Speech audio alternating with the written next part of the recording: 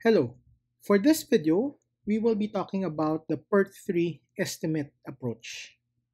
In order to understand the PERT3 estimate approach, we need to discuss again our base problem.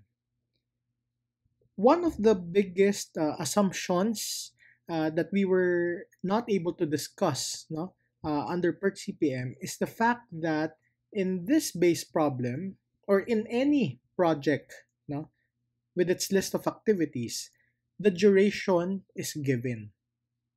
Okay? And and the other assumption that we need to make is that this duration is constant. We are sure, for example, that activity A will last three weeks. Or in general, you, uh, for you to be able to do manuscript manuscript proofreading, you need exactly three days.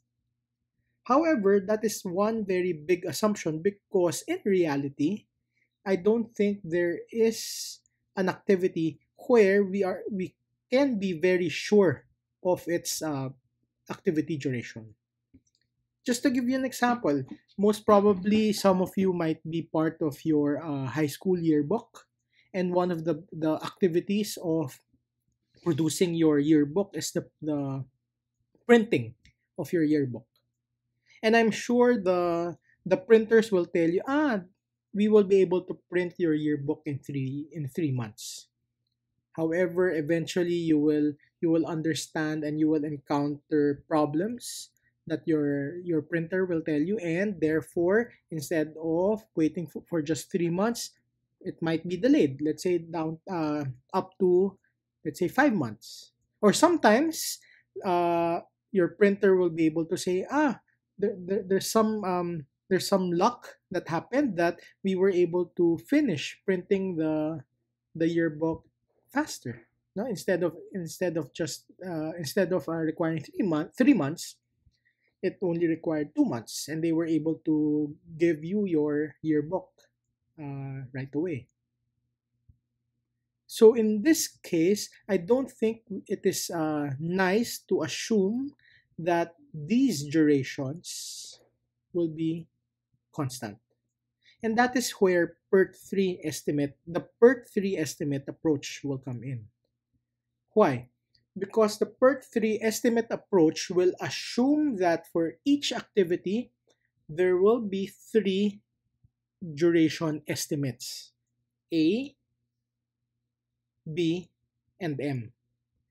A is the optimistic estimate B is the pessimistic estimate, and M is the most likely estimate. So if we were to use these uh, this example, most probably this duration can be our most likely uh, duration or estimate.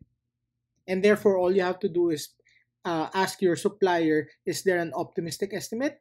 No is there a chance that they will be able to deliver it or do the activity faster? Or is there also a chance that they will be able to do the activity for a much longer duration?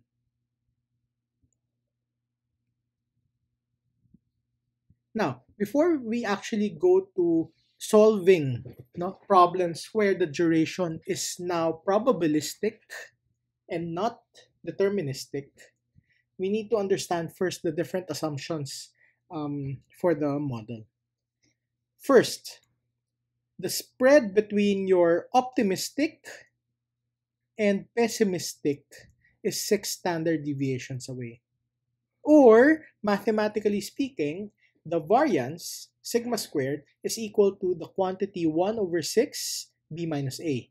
b minus a is the spread, and by dividing by 6, that gives us the 6 standard deviations away. Okay? And all you have to do is square because this is variance. So what does this mean? This means that given that each activity, each activity will have an A, B, and M value, then the variance of uh, A, B, and M will be computed this way. Okay? Next, the next assumption is that the problem distribution, the, the distribution of each activity duration is approximately beta. I'm sure you ha- you haven't uh, encountered the beta distribution. Just understand, you may search for it. Just understand that there is a beta distribution, and in this case, we need to assume that the activity durations distribution is beta. What is more important for us is to understand what is the implication of assuming the beta distribution. The implication here is that in order for us to get the expected, no, the E, expected time of activity I, so E of T sub I is the expected time of activity I, what we need to do is to get its corresponding most likely estimate, optimistic estimate, pessimistic estimate, and use this formula. To easier uh, to to understand the pro, uh, this formula easier, technically this formula is just saying that the expected time of each activity is weighted. And how is it weighted? Two thirds of it will come from the most likely value. One sixth of it will come from the optimistic and pessimistic. Okay? I think to make this uh, equation complete, we need a sub i because this is uh, the most likely pessimistic and optimistic value for each activity i. And then finally, the, the, the, the final assumption that we have to make is that the project time, and I've, bo- uh, I've, I've placed, uh, put, uh, put project time on bold, is approximately normal. Now, why did I put the word project time in bold? Because project, we, we have to differentiate project time with, so this is not equal to activity time. Okay? The, the expected activity time is this.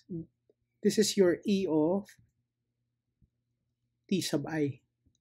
However, the expected project time is actually composed of the uh, expected activity times of the activities that are part of the critical path. Remember our discussion before in getting the project duration.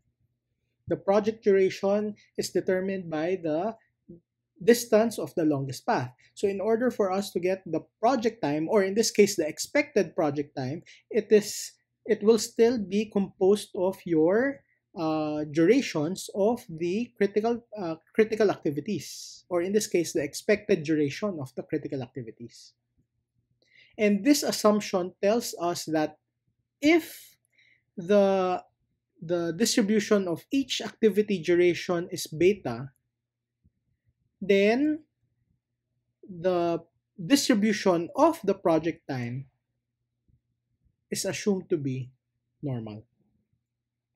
And, and we will be using this assumption eventually when we will be checking out what is the probability of your project time finishing a particular time. Now, what I have here is the same uh, base problem, but I added your optimistic, most likely, and pessimistic values. And using these equations for your variance and your expected time, I was able to get these two columns. So T sub E is your expected time, sigma squared is your variance. Okay? So um, what I did here is to come up with optimistic, most likely, and pessimistic values so that the expected time, if you notice, has the same values as uh, what we used before. Okay? And of course, I made that happen so that we don't need to do any other uh, computation for the longest path uh, anymore because what we have here have the same values as what we used before.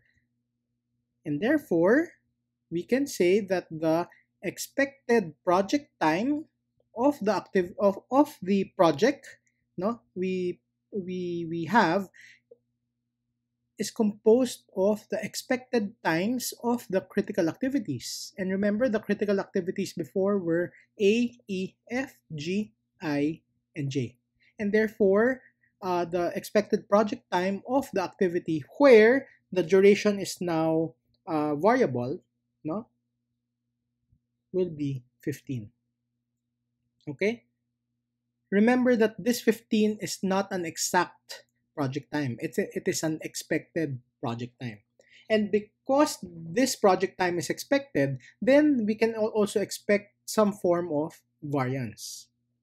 And as you can see, the variance of your project time is composed of the, well, it is the sum of the variances of the individual critical activities, which gives us a total variance of 1.41 Getting the square root, we get a standard deviation of 1.1874.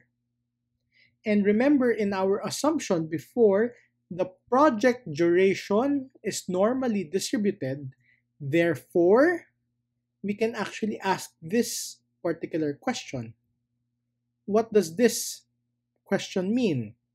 Remember that the project duration 15 is just unexpected duration, which means there are there is a chance that it will be delayed or it will uh, move faster.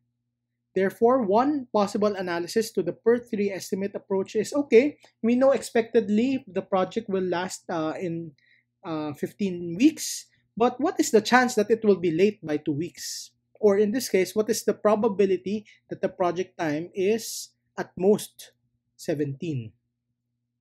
And how do we do this?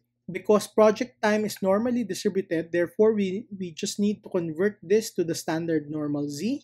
So we get a probability of z less than or equal to x minus mu, this is mu, the average, over sigma, which gives us a probability that z is less than or equal to 1.685, which also gives us the actual probability of 95.4% and therefore what is the probability that your project your project will be delayed at most two weeks? The answer is 95.4%